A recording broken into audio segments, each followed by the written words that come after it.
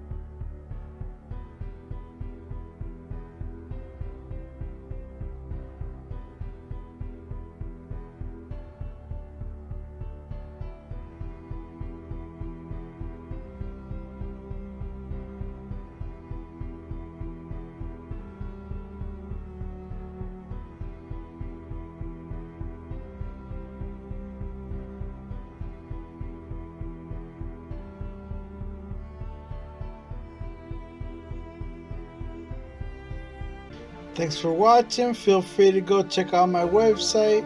Um, down there, you can see the link over there. And uh, please feel free to subscribe to my channel so you can check out new stuff as I do it. Uh, thanks. Have a good day. Take care. Peace.